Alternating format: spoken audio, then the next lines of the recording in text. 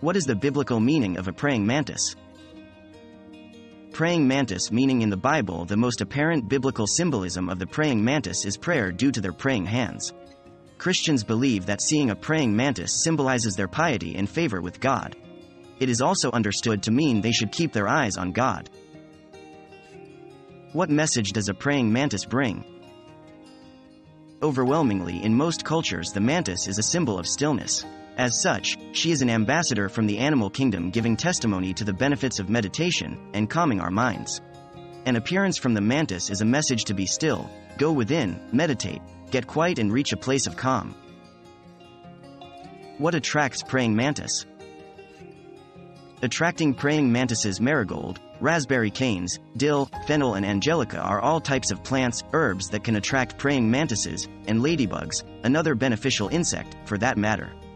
Grow shady, protective plants that are low to the ground.